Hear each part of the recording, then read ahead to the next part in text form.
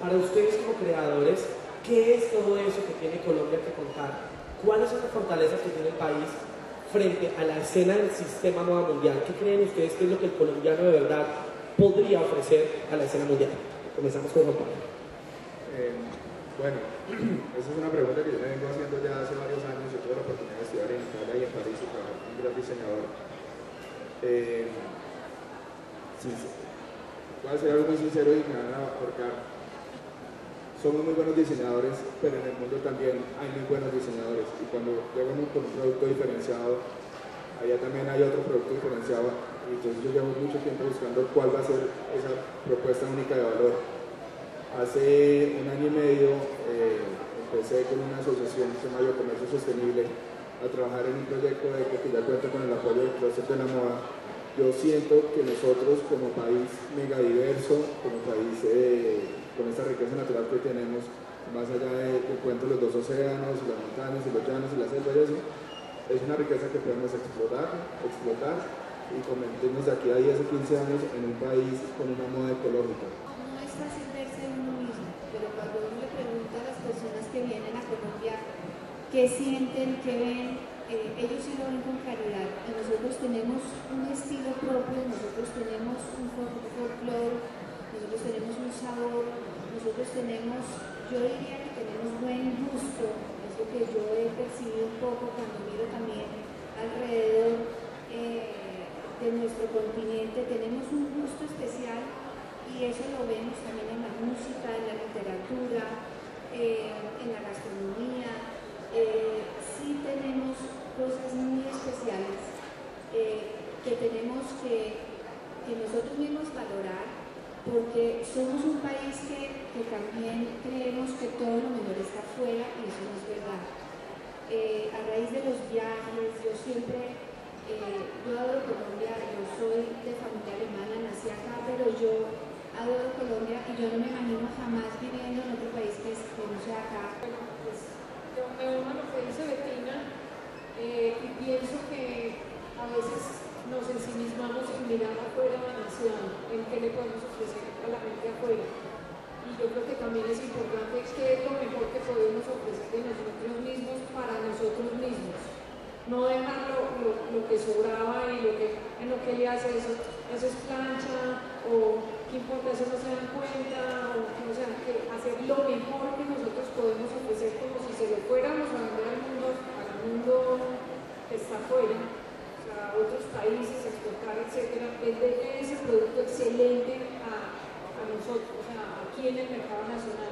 Yo creo que hay, todavía mucho para hacer mucho que ofrecer en el mercado nacional en cuanto a calidad, mucho para mejorar, eh, no solamente en calidad de confección, sino en calidad de diseño, en calidad de estilo de vida, eh, en, muchas cosas que podemos expresar nuestra creatividad para entregarse a las personas y a, nuestros compatriotas. el sistema, porque a veces uno se ensimisma mucho, se encierra y eso no lo deja uno ver un poco más allá, porque el Internet es una, es una herramienta importante, pero una cosa es vivir las cosas, otra cosa es verlas, o viceversa, otra cosa es verlas, otra cosa es sentirlas, vivirlas. Y yo creo que cuando comencé a viajar, o yo creo no, tengo muy claro que cuando comencé a viajar y comencé a desarrollar toda esa sensibilidad visual y toda la competencia y todo el potencial que tenía y la gente, cada vez que iba a ferias, competir, hemos estado en muchas ferias en, Europa, en Rusia, en muchas partes del mundo con muchos colegas, digamos, hemos compartido muchos momentos de ferias importantes del sector. Y uno ve cómo la gente se acerca a ejecutar el producto, obviamente que, una cosa es estar ahí, otra cosa es cerrar el negocio, es una complejidad que hay que vivirla para entender el potencial que uno tiene en el mundo y uno se da cuenta que, que uno no puede subestimarse y puede entender de que Colombia en el tema creativo el potencial es gigantesco ante el mundo. Entonces yo creo que las posibilidades son muy fuertes, eh, la identidad es muy fuerte, Latinoamérica es muy fuerte, la gente hoy en el mundo está buscando nuevos conceptos, nuevas marcas, nuevos estilos, que los nuevos diseñadores jóvenes que están, y eso es un potencial que la gente tiene que mirar. Y adicionalmente, como vuelvo y repito, es importante viajar muchísimo para poder revisar todo lo que tenemos acá, porque uno a veces no lo ve, sino cuando lo confronta con las otras situaciones que hay en el mundo. Claro que sí. Hay una pregunta que me hizo una de las estudiantes entrando aquí al salón. Me dijo, ¿cómo llegaron a ser y a estar dentro de los 10 diseñadores más conocidos de Colombia? ¿Cómo empezaron ese proceso? ¿Cómo fue que Bettina Spitz llegó a ser Bettina Spitz? ¿Cómo fue que Luisa Spitz llegó a ser el nombre que es? ¿Cómo llegaron a estar donde están? Empiezo con un eh, Yo empecé cuando, cuando llegué de Europa, eh, aprendí mucho del sistema europeo de, promoción de la, de la, marca y lo que empecé a hacer fue desfiles. Una vez me conocí, nadie me iba a invitarme a Colombia Moda, ni al Círculo, ni a nada. Empecé yo, yo solo a hacer desfiles eh, en, como en lugares no tradicionales, en restaurantes, en un museo. Eh, como no tenía plata para pagar modelos, entonces le dije a mi hermano, mi ciudad Javeriana, muy orgulloso que hiciera, que hiciera casting entonces feliz iba y hacía casting con todas las viejas que le gustaban y las mandaba. Eh, y así, así empecé a hacer los desfiles. Yo llegué con una propuesta muy de vanguardia, muy, muy eh, digamos que de avanzada, pues recién llegada a Europa. Y la gente que entendió de moda empezó a comprender que, pues, que había alguien, un diseñador nuevo con, con, algo de talento y me empezaron a llamar, a invitar a Colombia de Moda, a las ferias, así fue, fui creciendo. vamos con Betty Spence. Pues la verdad no tengo ni idea. Eh, pues la historia mía es como larga, yo empecé con mis papás en la industria, yo digo que mi infancia la pasé en una fábrica, eh, siempre viajé con ellos, eh, ese era mi mundo, siempre lo fue, he trabajado mucho, tengo mis, mis debilidades, soy muy tímida, me cuesta mucho trabajo la parte con los medios, eso es algo terrible.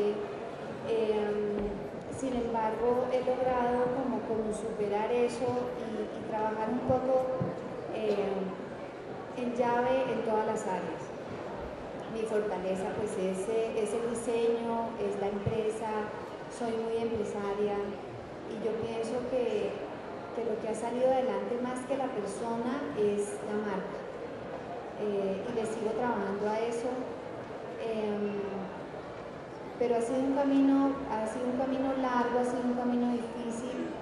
Eh, sin embargo, siempre eh, he creído que uno tiene, tiene que irse por el lado difícil, porque lo normal es que la gente se va por el lado fácil y, y ese no siempre es el que, el que lo lleva a uno, digamos, a algún éxito.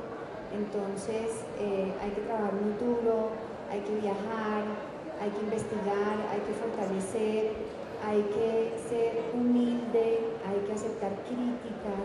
hay que mantener la mente joven eh, para obviamente mantener la, marca joven. O sea, es un trabajo eh, muy complejo